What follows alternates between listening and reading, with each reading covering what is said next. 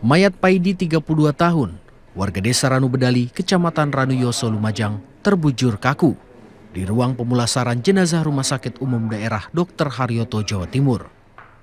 Korban ditemukan warga tewas dengan luka bacok di sekujur tubuhnya. Dari hasil otopsi, polisi menemukan sedikitnya 15 luka sobek di sekujur tubuhnya. Diduga luka ini disebabkan oleh sabetan benda tajam jenis celurit.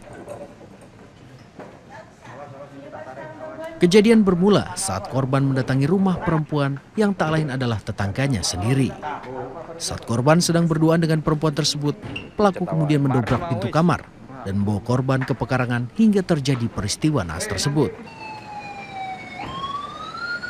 Pelaku yang juga merupakan ayah dari suami perempuan itu kemudian menyerahkan diri ke kantor polisi.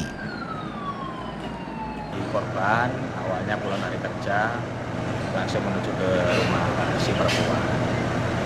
Sekitar pukul 9 malam masuk, selang ada waktu satu jam baru dilakukan penjemputan paksa oleh beberapa yang diduga pelaku. Lanjut oleh para pelaku tersebut dilakukan eksekusi di luar rumah sampai akhirnya korban meninggal.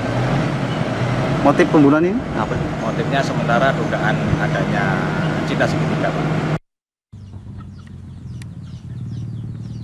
Hingga saat ini pelaku masih diperiksa intensif oleh penyidik.